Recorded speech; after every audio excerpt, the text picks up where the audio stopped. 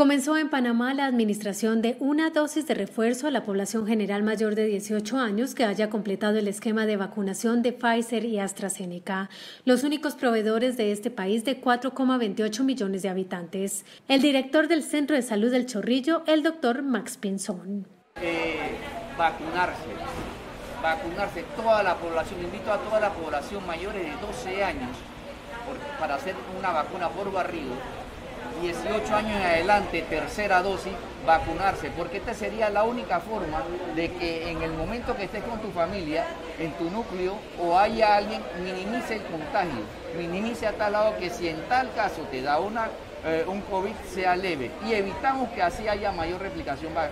eh, viral. Panamá acumula 7.356 decesos y 476.342 contagios confirmados de la COVID en más de 20 meses.